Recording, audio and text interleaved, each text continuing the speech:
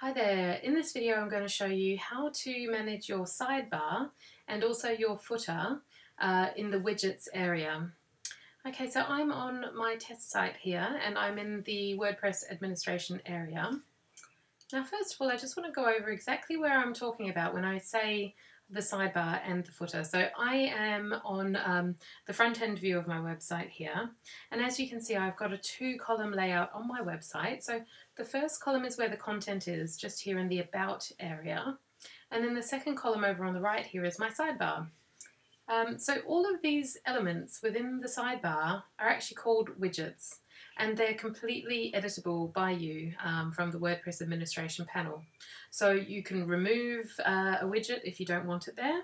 You can change the title of the widget. Um, you can add different widgets in if you want to. There's quite a lot of options that you can do with that. And down the very bottom of the site, we've also got a footer here as well. So if your website has a footer, this is this is the area that you'll find it in. I mean, not all, all sites will have a footer. And again, we're looking at widgets for this area as well, each of the different elements. For instance, where I've got this test uh, element here about Jenny, which is an author widget. Um, that's what it is, it's a widget. Okay, so let's go back into our WordPress administration area. Okay, so in order to get to the part where you manage your widgets, you go down the left-hand side of your WordPress administration panel, down to Appearance, and then from the sub-menu, select Widgets. Okay, so in the middle area here, you've got the widgets that are available for you to use. So as you can see, you've got quite a lot of options here. And if you want, to be honest, you can't do a lot of harm. Again, I, I, I always say that because it's the truth. Um, you know, you can add a new widget on and then you can just remove it if you don't like it. So experiment and see, you know, what, what options you've got and what works for your website. Okay, over on the right here, um, we've got uh, a couple of different areas. So first of all, the sidebar is made up of this primary area here and also the secondary. So if you have a website that's got a three column layout, so you will have your content area and then you'll actually have two sidebars. This is where you would manage your second sidebar, the secondary area. That's not going to be available on all templates and chances are, I mean it's not very common so you might not even have one of those anyway but if you do, this is where you would manage it.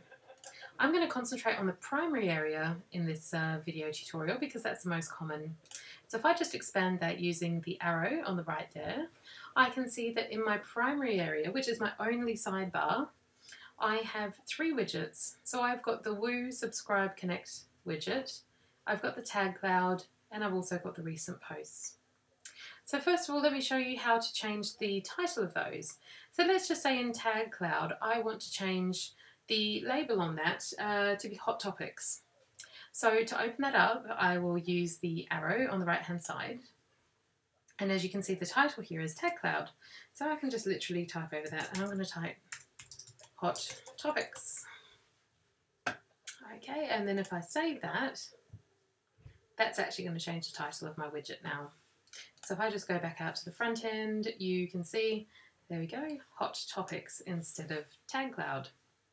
So I'm going to use the back button to go straight back to where we were.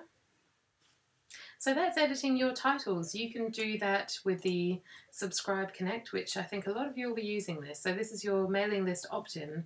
You can change the newsletter in here if you wanted to. Um, you know, can change which pages it's displayed on etc etc there's quite a lot of functionality there now let's just say I didn't actually want my recent posts displayed on the sidebar so if I wanted to remove a widget all I would do is literally drag and drop so if I pick up the recent posts here on the right and I can drag, drag and drop back into the middle into the pool of the non-active widgets and you can see over on the right hand side I now have only two widgets in my sidebar. So I can actually add widgets in just as easily. So let's just say I wanted to add the recent comments widget. So if I pick that up from my middle pool here of the widgets that are available for use, I can drag and drop over onto my right hand sidebar and I can give that a title as well. So let's just say comments and then I'm going to click save and then if I go to view my site and we can see, there we go, there's the comments. Okay, so I'm going to click back to go straight back into the widgets area. So that's your sidebar. This is where you're going to be um, editing all of your sidebar widgets. Now I'm going to move on to the footer. So depending on the setup of your website, um, really depends on how many elements you've got available in the footer. Um, if you're using Canvas theme, you've got up to four areas for the widgets. So if you have set it up so that you have four slots available for widgets on the bottom, you will actually see a fourth one here. But as we can see in this template, I'm only using three. So I've got footer one, footer two, and footer three area.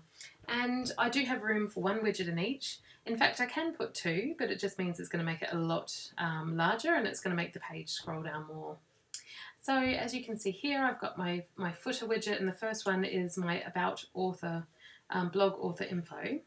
So if I wanted to change uh, that from about Jenny to say about the company. There we go, I can update that and save that. So I've just changed the title on my footer. Um, just as you would manage the sidebar, you can easily manage the footer in terms of dragging and dropping.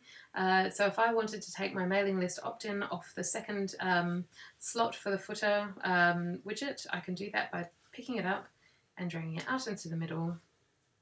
And then if I wanted to put something else into there, for instance, I wanted to link up uh, a little gallery that's linked to my Flickr account, I can pick up the Woo Flickr and I can drag and drop over to the footer 2 area and just say photos. Obviously I haven't got my ID on me immediately in this video, but you would actually go through and get your ID to link that to your Flickr account. But that's basically just a quick demonstration of how you would add a different uh, widget to your footer. And that's it. Uh, you don't need to save once you've, you've edited those. It, it, all saves automatically. So if I go back out now, you can see I've now got my Flickr um, widget down on the bottom here. So there we have it, managing your sidebar and your footer.